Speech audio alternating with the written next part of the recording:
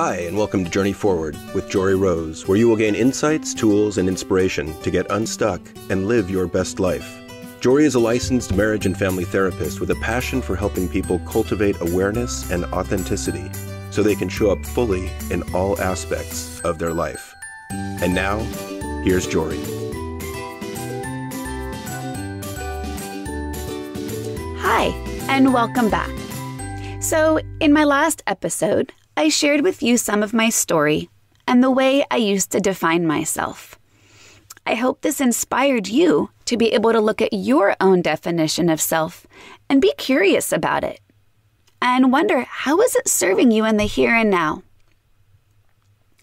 Having grown up with fear and anxiety handed to me on a silver platter, just knowing that the worst case scenario can in fact happen as I knew what was possible with my mom's parents' car accident, and knowing that you can't prevent bad things from happening. It made perfect sense why I kept making decisions for myself in order to help me feel safe and secure. Growing up being dependent on my mom, and then shifting that dependence when I was a teenager onto my boyfriend who became my husband was exactly what I felt I needed to create a sense of safety and security. Not being safe and not being secure was what I feared the most. So, no wonder I was so focused on feeling comfortable that I often never considered slowing down, questioning, or being curious about whether it was the right thing for me. The value of security at that time was higher than the value I later had of self discovery, exploration, and even independence. And that was fine until it wasn't fine anymore. I mean, wow, even just saying that out loud makes me have so much compassion for my younger self. It's no wonder I've had so much transformation over the years, and no wonder it wasn't easy. But when I can look back on it, my values have really shifted.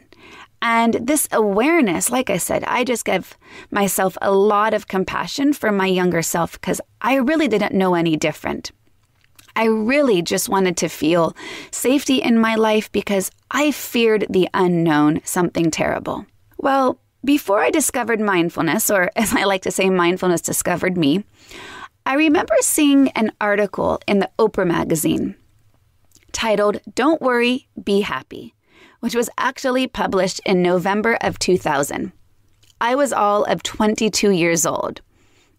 I wasn't even engaged yet, although all I wanted to do at the time was get engaged. Remember, I was looking to create more safety and security to give me that perceived sense of comfort and in a way to prevent the scariness of the unknown.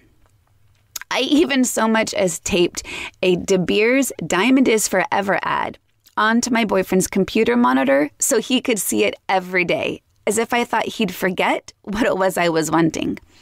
And well, I can look back and say, wow, maybe I was kind of forcing this situation, or maybe I was pushing him towards something he wasn't ready for. It didn't really matter because that action of putting that diamond ad on his computer gave me a perceived sense of control over the situation. At least I was doing something about it. Almost everything that I did was a motivation for me to feel security for what was next, so the future just didn't seem so scary. And yet I was still always scared of the unknown.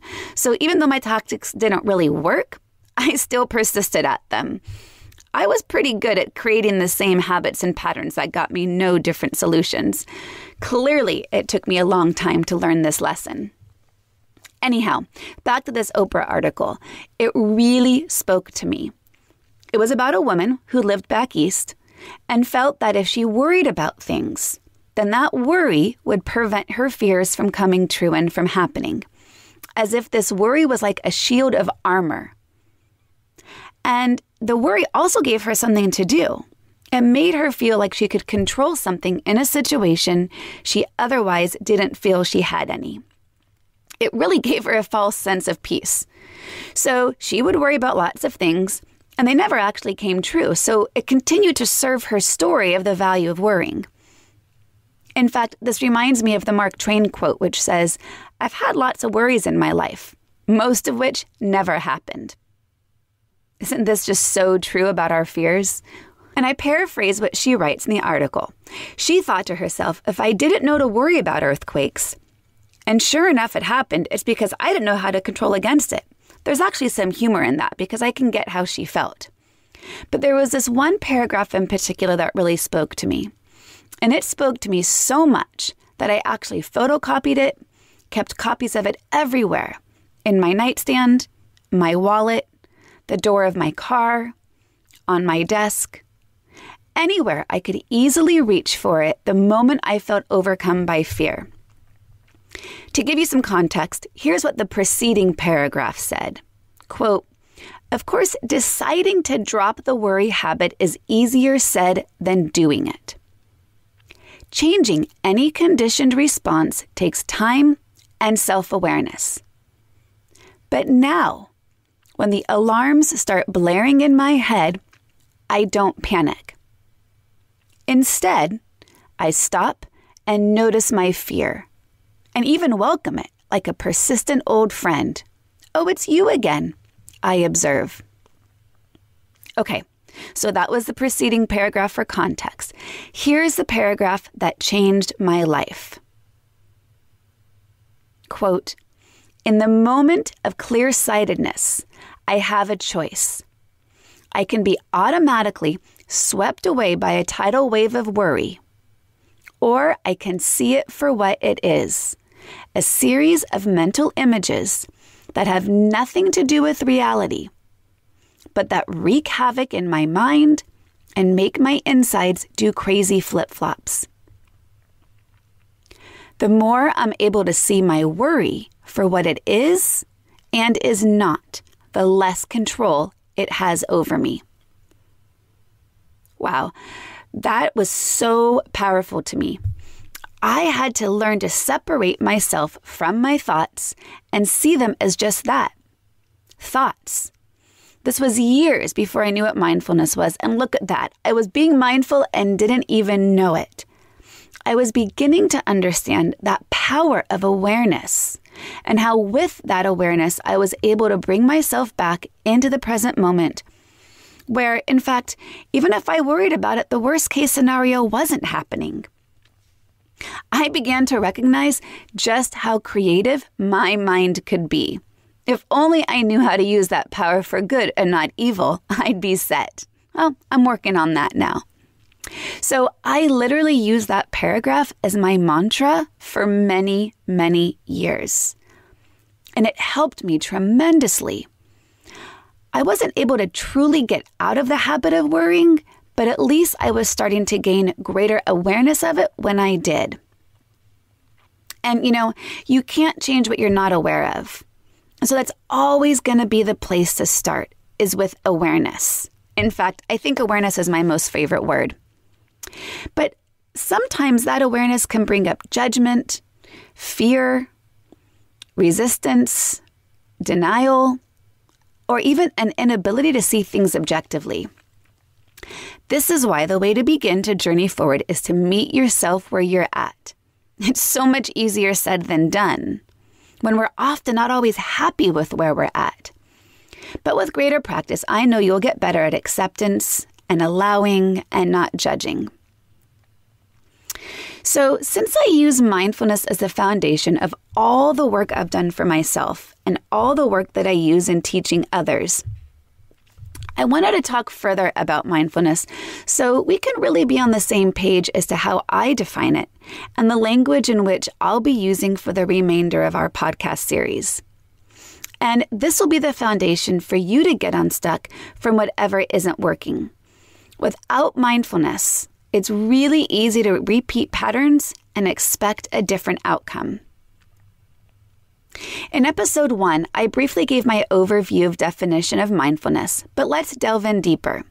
So just think for a moment what do you think of when you hear the word mindful or mindfulness? What comes to your mind? What do you think the definition of it means? The stock answer is often being in the present moment non judgmentally. But Sounds, again, easier said than done. So, what does that even mean to you? Well, let me start by saying something that I often hear from clients is I don't have time to be mindful. I don't have time to add something else to my to do list.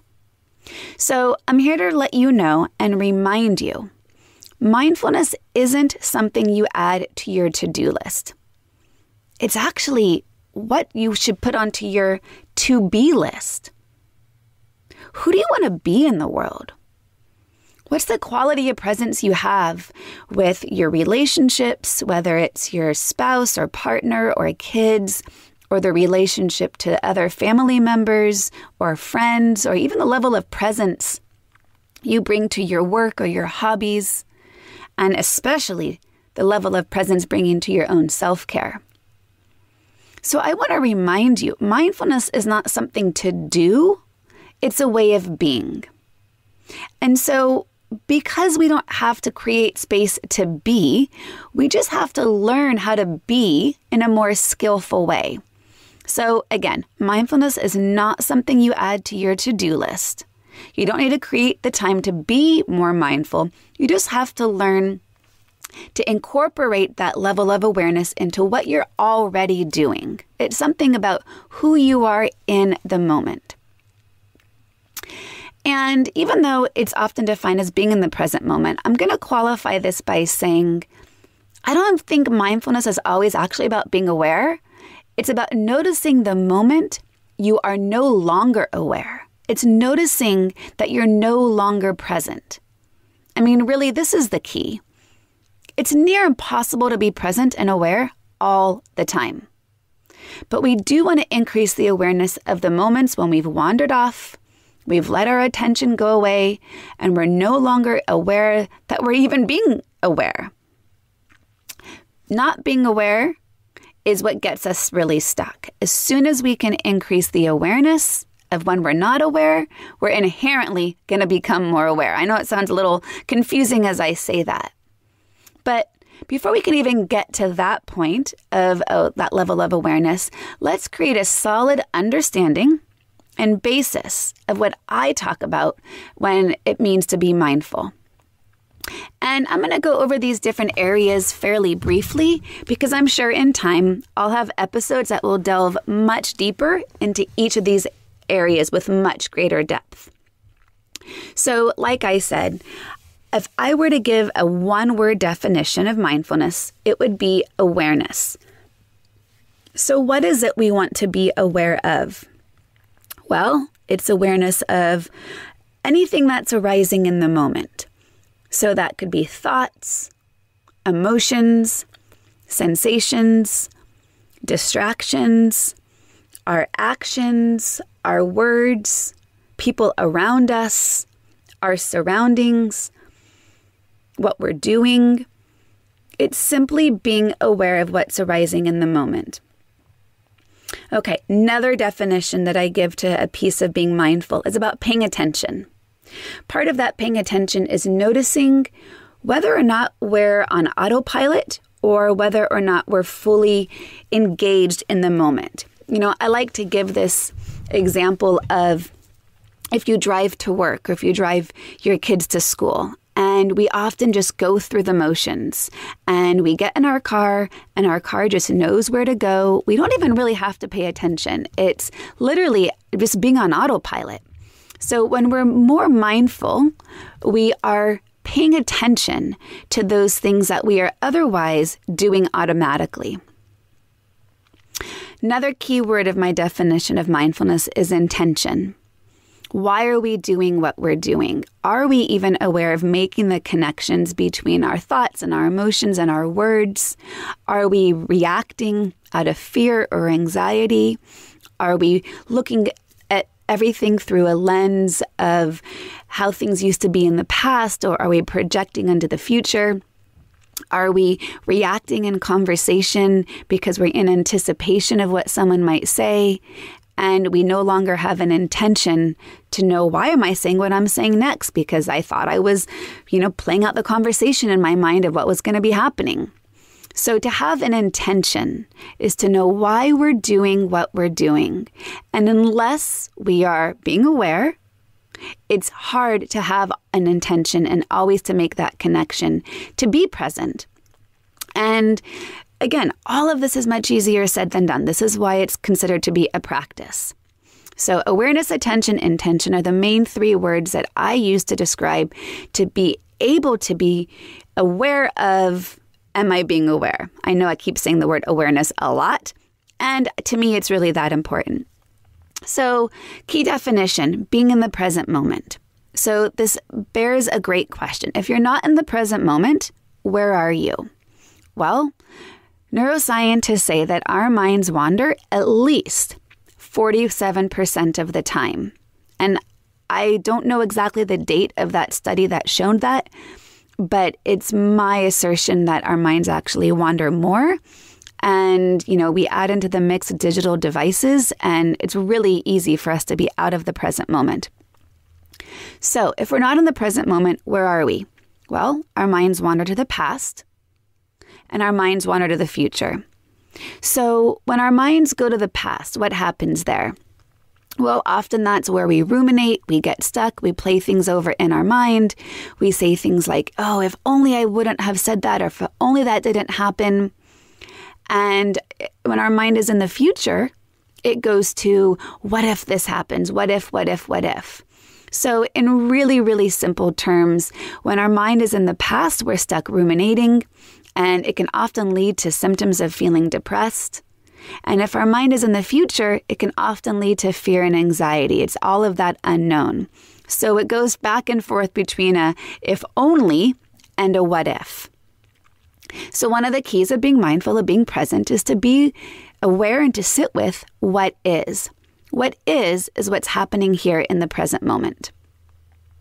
Okay, another key component of being mindful is non judgmental awareness.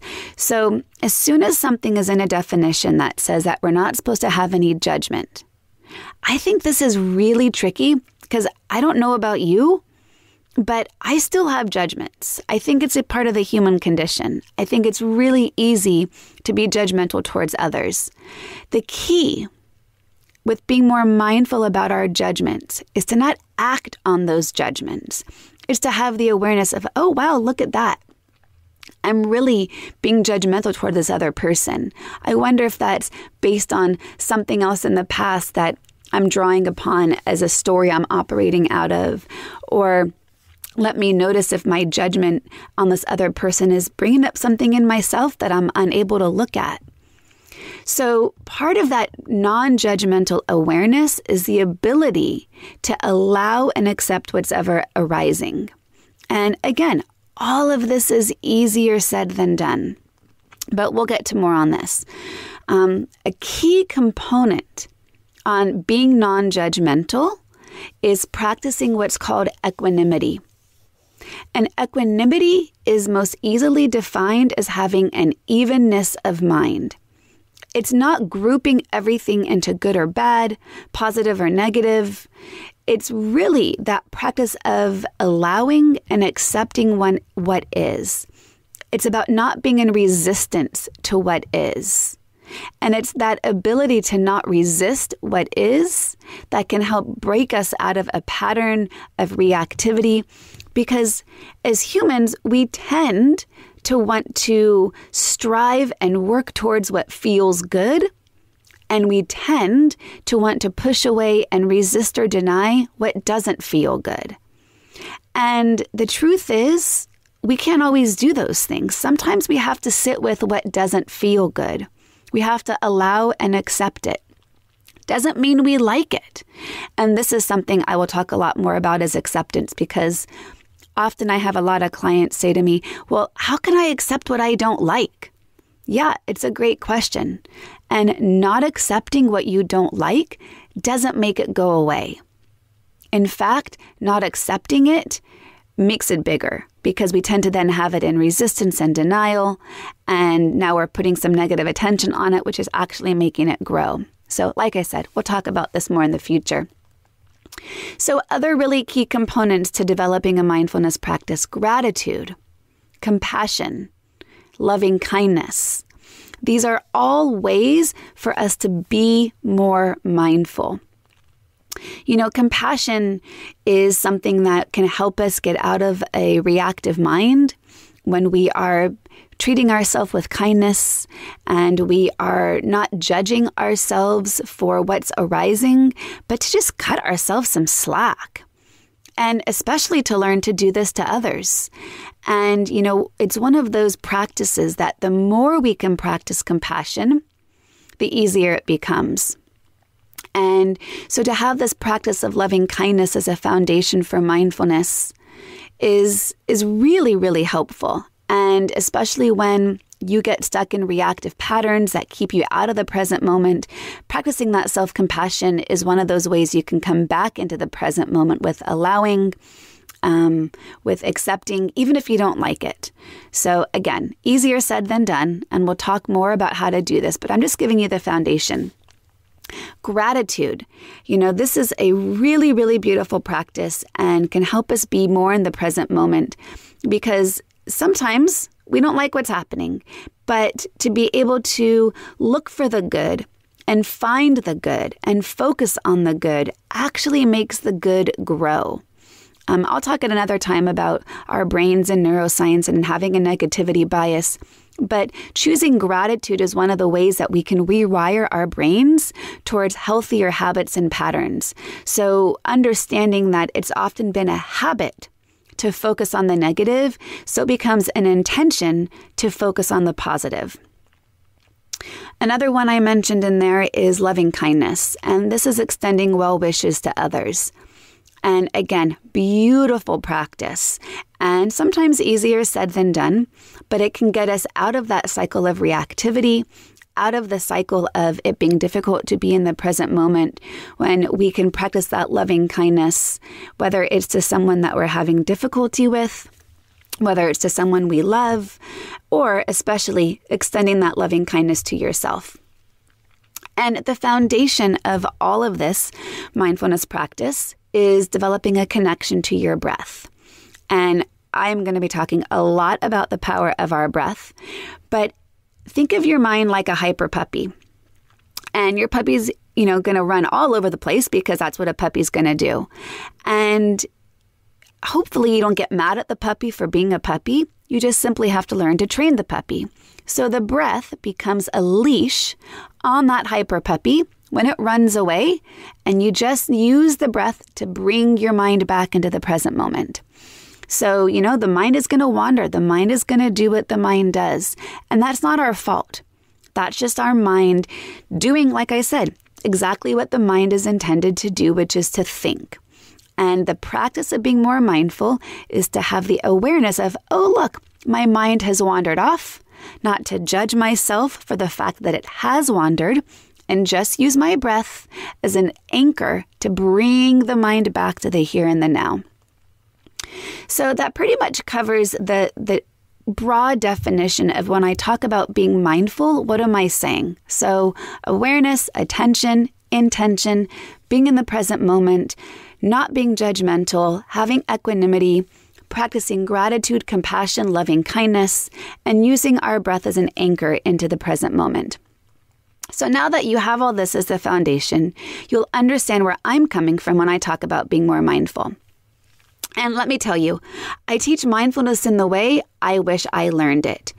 I teach it in a way that hopefully you'll find to be tangible, accessible, relatable, and able to bring into your own life. Because when I learned about mindfulness, it felt like such an esoteric practice, I wasn't even really sure what it meant.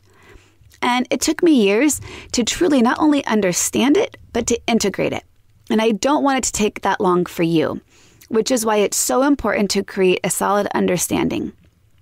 And I'll keep talking about it, probably often repeating what I've already said, but that repetition will lead to your mastery.